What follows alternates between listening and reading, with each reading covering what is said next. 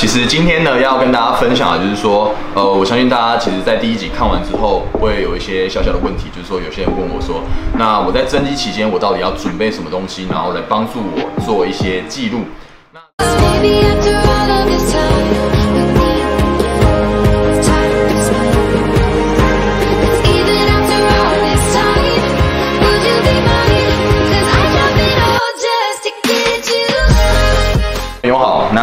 我是 Peter，那又回到我每一周一次的见面啦。那这一次呢，就是因为其实这阵子，呃，因为微解封过后，其实会比较忙一点。我现在开始回去工作了，对，所以其实也可能没有办法这么频繁的跟大家见面，跟大家聊天。不过没关系，就是说我还是会每个礼拜会每一周更新一次我的影片，对，那持续的给大家满满有价值的影片这样子。对，那这一集呢，其实呢，我我相信大家蛮期待第二集，就是我们的干净增肌系列。对，所以这一集就是我们的第二集。那如果有持续发了我 IG 的朋友们，就会知道说我最近其实在准备一场呃，今年原本是八月要比赛，因为疫情期间，所以延期到十月份的呃一场健美比赛。对，好，那也希望大家给我多多的支持，让我持续有动力的继续呃产出我有价值的影片，这样给我一个动力继续支持我。对，谢谢大家。那在内文开始之前呢，请大家动动你的手指，帮我按下订阅，跟给我一个赞，给我一个喜欢。那顺便开启小铃铛，这样子就是一个给我一个最大的支持，然后也可以在第一时间内看到我的最新影片上架。第一个帮助你们增肌的一些工具的部分的话，我会建议就是体重机。那其实如果你们家里面的话，这个是小米的啦。那其实就是说，呃，不管什么品牌，不管什么牌子的体重机都可以。那因为呢，其实有时候你在增肌的过程中，你必须要呃摄取一些热量盈余的部分，对，所以说你必须要去记录你每一天早上起来空腹的体重，你才知道说，因为我们本身增肌就是希望我们的呃净体重，就是我们的肌肉量是往上提升的。那其实，在增肌的过程之中，也不要有太多的迷失，就是说我们一下子增加太多的太多的体重，为什么？因为有时候可能在吃的过程之中，你热量盈余太太多，可能会导致你的脂肪也是增加的过多，所以我们的体重是缓慢的增加，这个对大家来说是其实才是比较正确、比较诶 OK 的部分。对，那这是第一个，我大家推荐就是说在呃增肌期间，你一定要每天早上空腹记录你的体重，你可以记录起来写下来，然后贴在就是你可以使用便利贴贴在你的呃厕所。还是说你的呃房间，还是说你的、呃冰箱上面都可以，那或者是把它用手机记录下，其实都可以。好，那第二个呢，就是我有准备了诶这个，看一下哦，好，这个记记事本，呃笔记本啊，不好意思，那其实这是一般的笔记本，那其实也有比较专业一点的笔记本，就是说它里面呢会有一些小格子，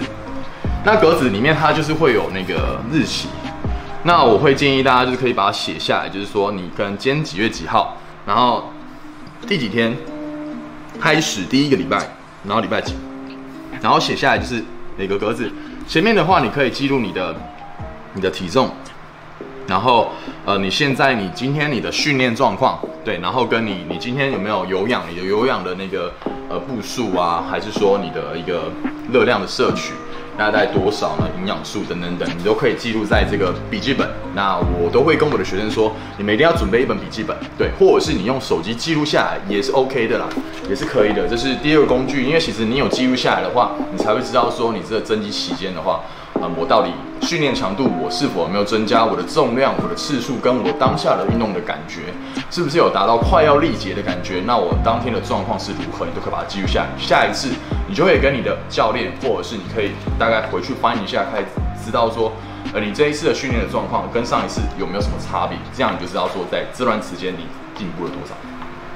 好，那第三个呢，就是我们的那个，哎、非常重要。那这个就是这个食物秤。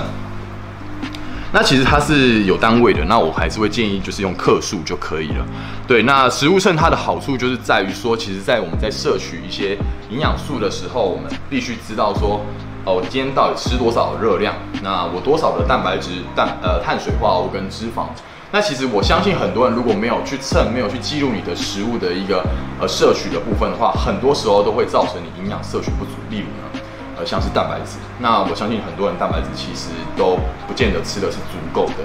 尤其是在呃吃外食或者说他可能没有记录的状况，所以导致他可能在饮食上面出了非常大的 trouble。所以我相信大家这个食物上对大家绝对是有帮助的哦。好，那最后一个呢，其实我会跟大家提到就是诶这个。好，那我相信呢，很多人就说，哎、干嘛？我我没有要吃药，只是为什么要准备这个？没有，其实不是，因为它这个的话，其实很方便的地方就是说，等一下，没关系。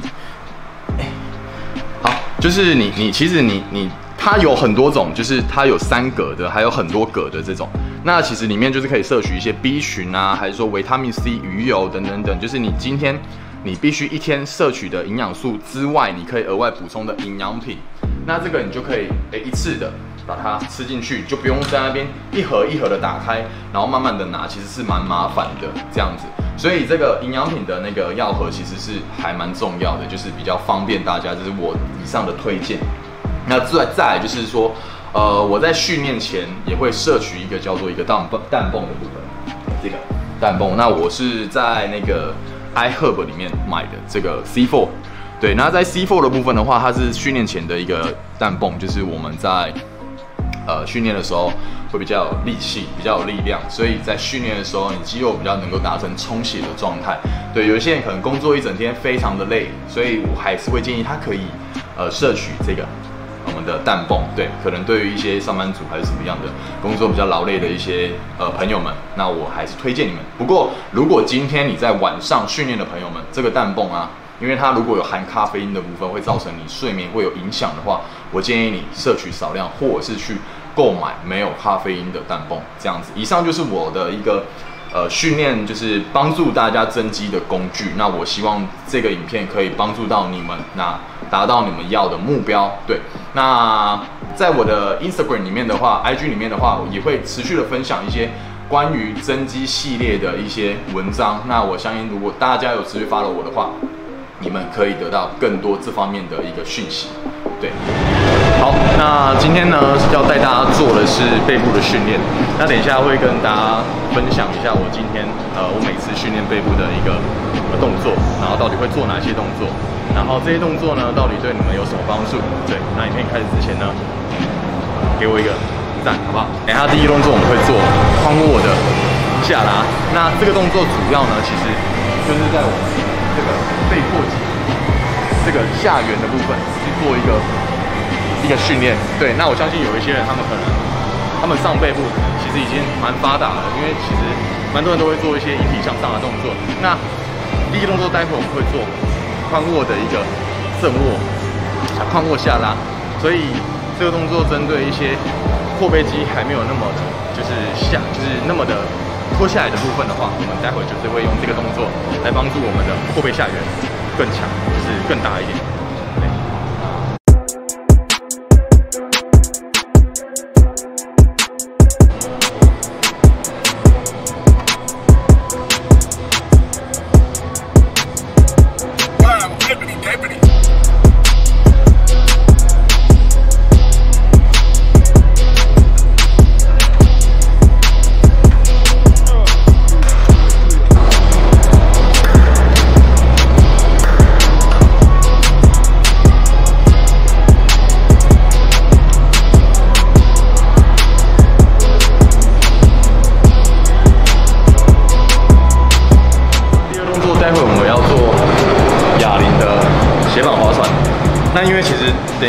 做背部的时候会有点大重量，所以说我们会为了安全起见，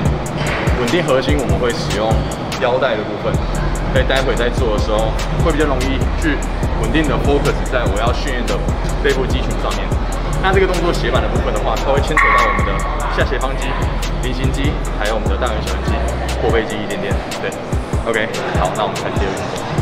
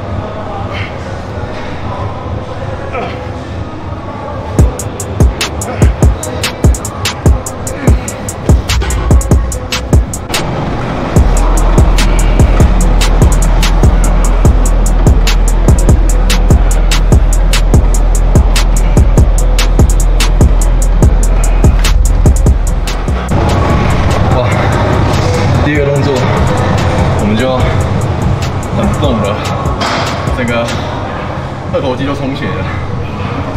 其实到底是练背还是练二头肌，其实我也分不清楚。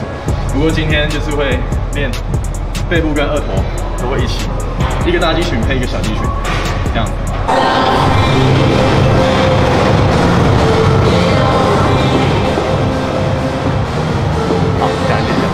那这个动作其实它的宽度啊，基本上就是要跟我们的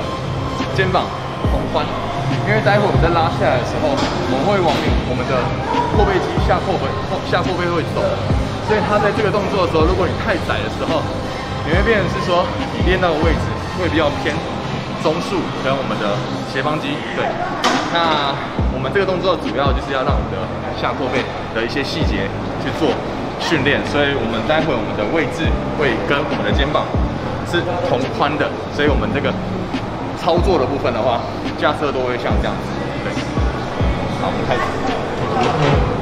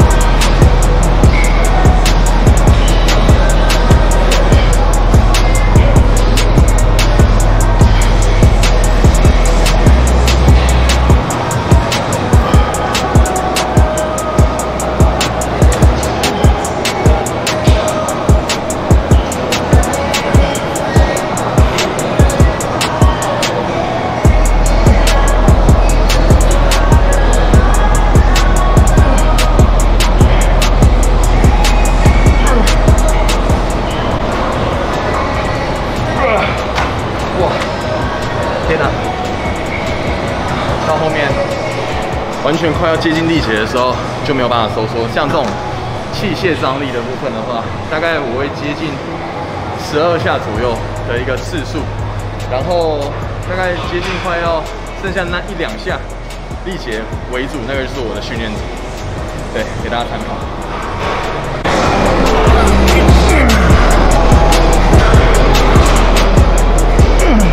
好，加油！推下去。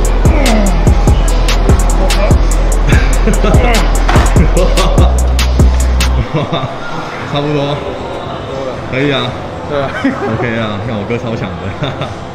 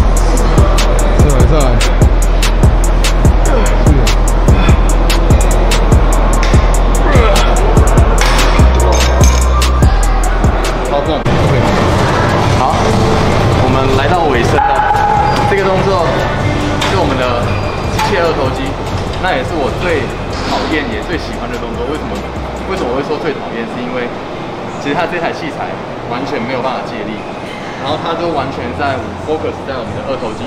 的一个长口的训练。对，那这个动作重量其实也说真的不能做很重，因为如果说你可能太重，你变成是说你可能收缩不了这么的完整。所以基本上那个重量，我会建议大家就是选择你可以完整收缩的重量为主。次数呢，我会建议大家就是落在十到十二下，或者是说你想要针对你想要肌肉比较肥大的部分的话，像男生喜欢做大重量，大概就是落在八到十下左右的次数就可以了。那我们开始了。好，首先呢，我们就是靠在这个完全让我们的腋下靠在这个我们的软垫上面，然后这样子才能确保说我们的二头肌是完整的收缩。好，OK，开始喽。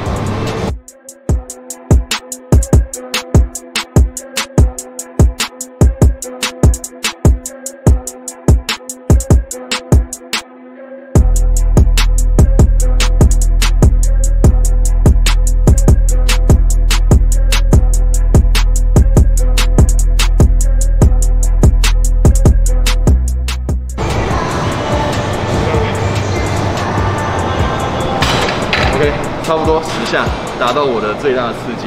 大概这个重量就是我的极限了，大概十下就力竭。好，那今天的训练就到这边，希望对大家是有帮助的。那中间的过程可能我没有跟大家讲非常多一个细节的部分，大概会让大家知道说我的背部训练就是这些动作，非常的少。那组数其实也不多，但是练完的感觉其实是舒服的，心情是愉快的。那在增肌的过程中，而不是说一定要把自己炸到很累很累，就是很轰炸、很疲劳的那种感觉才是真正的训练，不是，而是你今天的训练的时候的肌肉的那种充血的感觉是否是 OK 的？对，那你看我练完的那种充血的感觉其实是蛮炸的，所以说在这样的训练状况下，其实就是可以确保我今天是呃训练是品质是有的，然后是蛮舒服的。对，那 OK，那我们今天影片就是到这边，那我相信大家今天会有一些收获。那下一集影片呢，我会拍其他的一个训练部位，或者是说大家如果有想要看什么样的一个训练内容的话，那可以在底下留言给我。那也请大家多多支持我，帮我按一个赞，帮我按一个喜欢，然后分享给你身边的需要的朋友。对，这样是给我最大的动力。好，那我们下一集再见哦。